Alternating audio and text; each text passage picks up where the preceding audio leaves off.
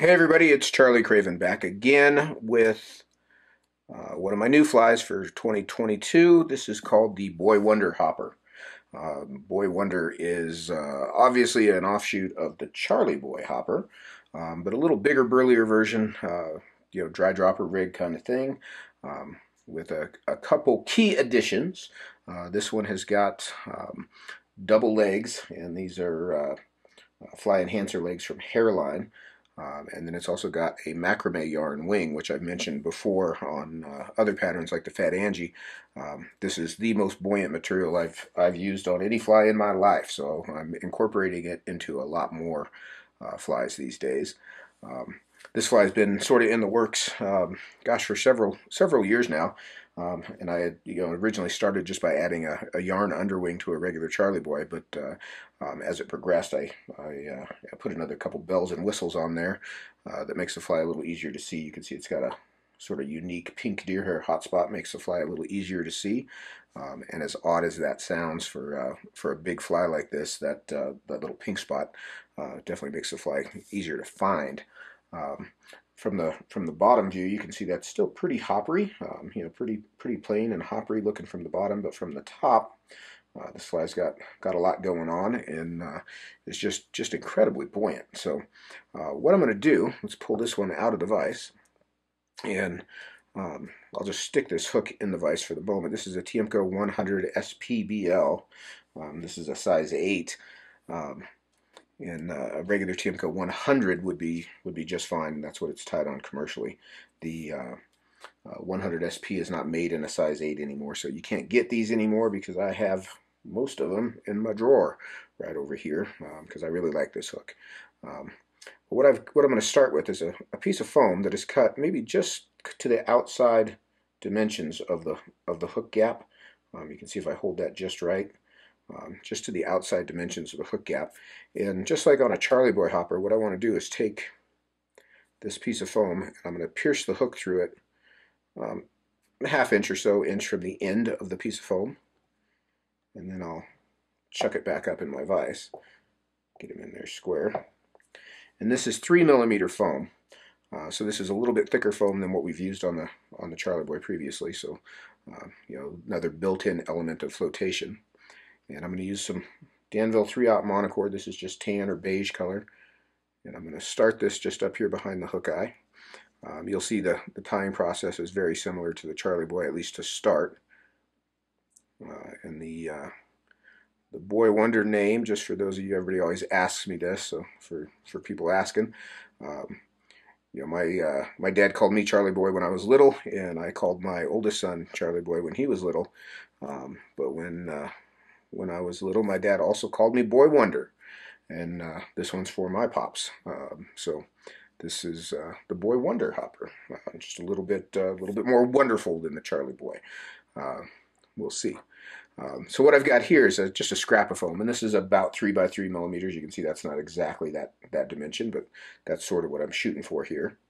And I'm going to tie this down just behind the hook eye, and I'm going to wrap back over it to the bend and I want to get all the way back on the last straight portion of the hook. And that's going to become our gluing surface. So um, you know that doesn't have to be a matching color and, and, you can see obviously those dimensions don't have to be exactly the same there. Um, you know something around 3 by 3 millimeters. Um, so I'm going to take my thread and run it back over that binder strip as it were. And I'm going to pull the foam around underneath the hook so that it's lined up under the hook. Um, and what I want to do here is I want to make sure that this piece of foam is all the way up to the end of that binder strip. And you can see as I do that, that's going to elevate this back end um, so it sort of tilts up a bit. Um, and that's going to be key when you tie this fly. Um, same thing on a Charlie Boy. If you ha have this piece of foam laying down flat, um, you can see that encroaches on the hook gap dramatically. Um, and just by sliding it up a bit, that opens that hook gap up quite a bit. So then what I'll do is I'm going to poke a hole for the hook eye, and I just use the tips of my scissors, and I want to go from both sides, and I'll poke that hook eye through. So we've got the, the foam threaded on in two spots, and the thread is hanging back here at the bend. So now I'm going to take some super glue, um, and Zap-A-Gap works fine. This is uh, just liquid super glue here in a bottle that I have much better luck trying to keep the, the lid on and off. And what I want to do is I want to coat that binder strip down each side, up off this extended body part, and then also up here beyond the hook eye a bit. Um, and I've gone pretty heavy on that, so I'm going to use just a little scrap of foam here to sort of smear this around and kind of pick up the extra so that I don't have too much. And then I'll take that piece of foam and throw it in the trash so it doesn't end up stuck to me. Now, one, one variation from the Charlie boy that we're going to do on this fly here, still got a little extra glue here, is when I go to fold the head back, I'm going to buckle this a bit and pinch it down from the top all the way to the back and then I'll lift the back end up. So we're kind of ending up with a U-shaped body here. Um, and really all I'm all I'm sweating uh, that the glue really stick to is this extended portion. Um, you can see your side is open my side has got a little space in it. Um, not a big deal there. I just want to make sure that that's sealed up on the back end but you can see the little extra bit of foam that we've stuck out here at the front so now I'm going to take my thread and I'm going to take a half a turn around back here at the bend and I'll tighten that down and then finish another turn, a couple, three more turns there. That's going to create our first segment. So I'm going to work forward in, in one-fourth of a shank length increments um, as I go. I'm only going to make three segments, but I'm going to work in fourths. Um, and what that what that'll do is is leave over one last segment left over for the head. Uh, so to to work forward, I'm going to cross the thread across the top of the body about a fourth of the way and make a segment. Then I'll do it again.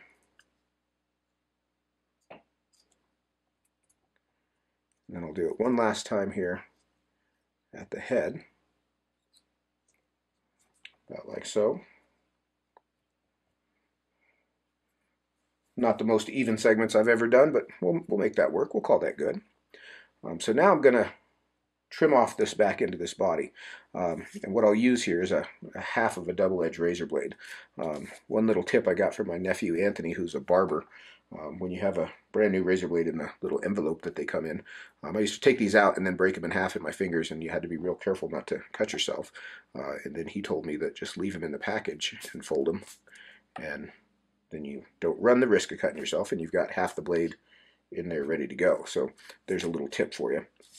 But I'm going to take this double-edged blade and I'm going to lay it in right on top of the body, right flat across the top of the body, and I'll just start to push it into the foam. Um, so you can see the angle of that cut. Um, that's exactly where that cut's going to go. You can see right in line with that blade. It's the foam itself that's angled. It's not the uh, not the the blade. So I'm just going to push this through and slice that little piece of foam off. Um, incidentally, you saw me use that scrap of foam to smear the, the glue around. Um, I usually save this piece from the previous fly, and that's a handy little scrap piece that uh, you can kind of put to use there. While I've got this razor blade out, I'm going to knock the edges off the sides of this head. Uh, for the same, same reasons, I want to kind of narrow this down just a bit. So I'm just going to take a sliver off each, slot, each side of the head here with that nice sharp blade. Um, and a double-edged blade is important here. I see a lot of people trying to do this with a single-edged blade or even with your scissors, and it just you'll find out very quickly it doesn't work very well. Um, but you can see I just knocked those edges off so it's a little bit more square. And now on the back end of the fly, you can see this body is a little bit wider than the, the extended part is a little bit wider than the main body. Um, so I'm going to come in and taper that a bit. And with that, I can do I can use my scissors for that piece. Um, so a little bit longer, fatter, thicker body there. So now what I'll do is I'm going to cross my thread from this first segment back to the second, back to the third, and I'll just let it hang in this segment here for a moment. Um, this is where I'm going to tie in my first clump of yarn. And what I've got here is just uh, polypropylene macrame yarn. And this is a blend of colors. Um, and people always get hung up on what exact colors. Um, you know, you don't have to match exactly what I do. Um, you know, I'm not sure I could even match exactly what I did here. I sit down some days and uh, just start mixing this up. And, and the gist of it being um, what I've got here, and I'll try to show you a little example of how to do this, um, is I've got some some yellow and some brown and some tan and some gray, I think is what's mixed in this, this clump here. And what I'll do is just brush those pieces out um, and then stack each color um, just on top of each other. And then I just start pulling it out and restacking it and pulling it out and restacking it. Um, and it takes takes a little while. You know, does it's a good thing to do on weekends during a football game. You just got to sit there and mix this up. Um, and that's how I get that blended fiber. Um, so what I'll do is I'm going to take a little clump of this, and you don't want to get too overly aggressive with it um, because we're going to double this over. But I'm going to take this clump, and my thread is hanging in that, that first, or I'm sorry, second segment forward. I'm going to catch it with a couple turns right on top. Then I'll lift up both ends and I'll cross my thread back to that last segment. Then I'll fold both ends back and catch it with a couple turns. Once I'm there, I'll just cross my thread again, just right on top, over into that next segment. Try not to hit your hook point every single time. And then I'll cross forward again, and one more time. Oh, just to here. Uh, so I just want to leave it hanging in that second second segment. So this is where we'll tie the legs in. Um, this slide takes a little bit more planning. Um, the order of operations is important. Uh, but I'm going to take, these are uh, gold amber black fly enhancer legs. And I'm going to take two strands. And what I'll do here, try to get these even.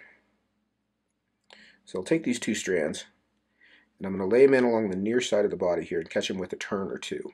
Uh, so you can see what I've done there is just caught them in that in that segment. And then I'll cut those back ends off. And then I want to lay the other two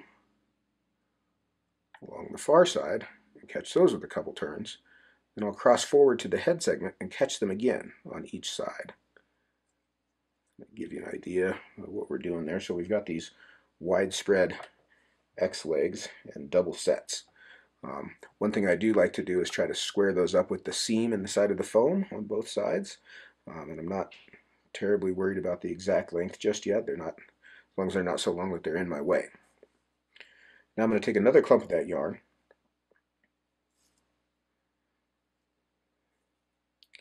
Kind of pull out any, any short ones. And I'll tie this in in that same segment in the same way that we did the first one. I'll lift that up.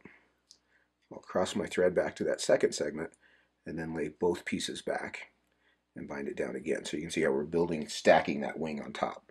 Um, and we will eventually kind of brush this out a little bit. So now I'll cross my thread back on top again into that first segment. So I'm hanging in that first segment. And this is where we'll put our deer hair wing in. And I'm going to take a nice piece of, this is whitetail deer, nice piece of whitetail. And um, this is really just sort of for, for texture and color. Um, that macrame yarn is incredibly buoyant, but the hair does kind of clean up the tie down area and uh, adds a little bit, bit of variegation to the fly. So I'm going to take a small clump of, of this white-tailed deer, clean it out and stack it up nice and neat.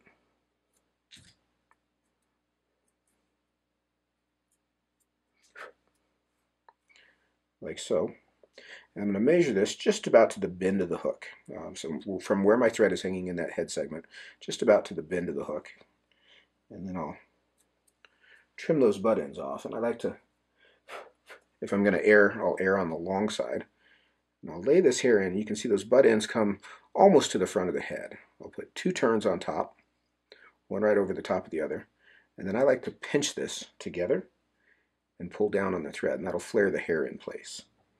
You can see that covers the tie down and adds a little bit of texture to the to the top of the wing.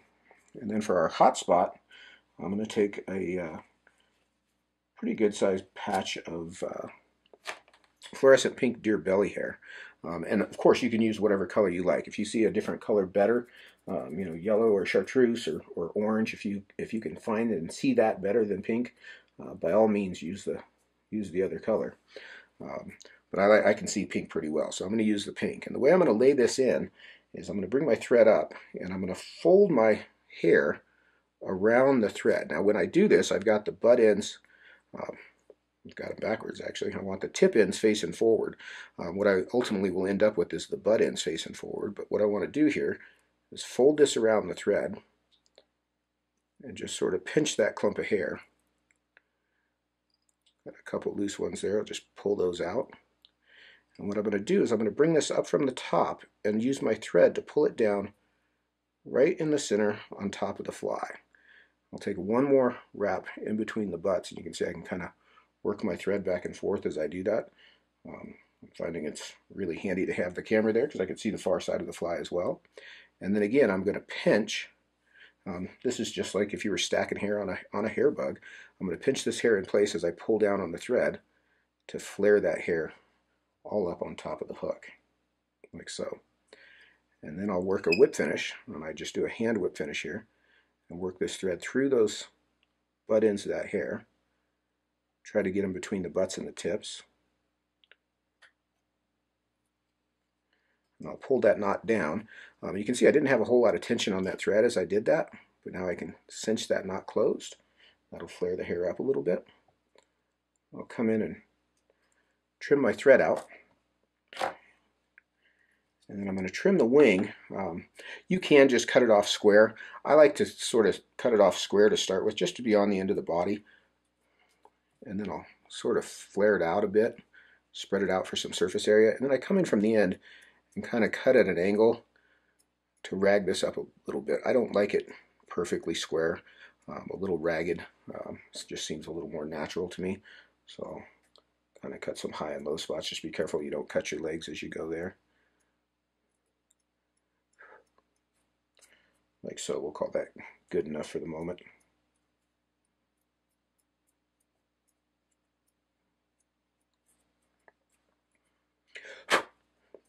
And now to trim the head, um, I'm going to take the fly out of the vise to do this because I really am right-handed even though I tie left-handed. But I'll try to hold this up where you can see it. I'm going to sweep these legs back out of the way. And I'm going to pick up my double-edged razor blade. And very carefully, I'm going to just slide this from the front edge of the foam through that deer hair. And I want to cut all of the pink off and as little of the natural tips of the of the natural hair as I can get away with. Um, so you have to sort of just feather things back there. You can kind of use the edge of the blade to clean that up.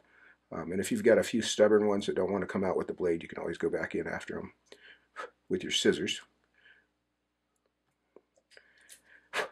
I think I got most of those. You can see there's one long pink one still in there.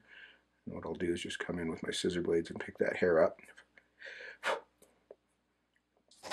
And then I'll use the, the blade to kind of clean up the edges of the head. Um, and what this hair does, uh, by the time this is all done, is sort of makes a hybrid foam, foam and hair head.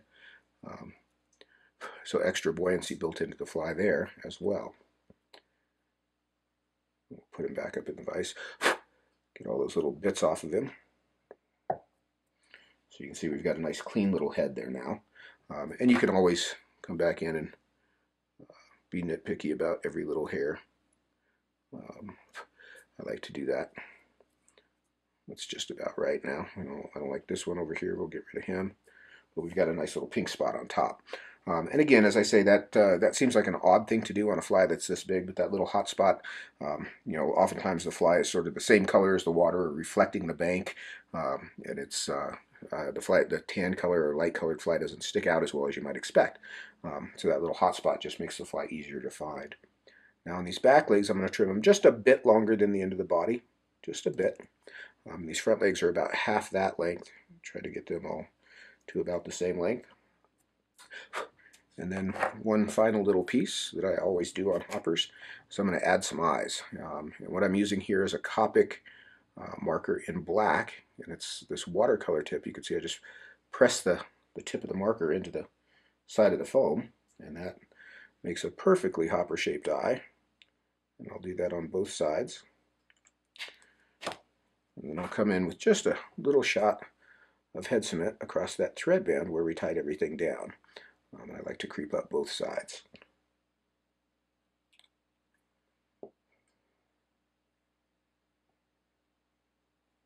And that is our finished Boy Wonder Hopper. Um, pretty cool little fly. i am pretty happy with this. I fished this quite a bit over the last few years. Um, great dry dropper fly. Fish eat it really well. Um, lots of good surface area out of that macrame yarn wing. Uh, it's eliminated my need for a chubby altogether. Between this and the and the fat Angie, I've got everything covered. But uh, that is the Boy Wonder. Thanks for watching. Um, again, I'm Charlie Craven, and uh, it's always fun. Take care.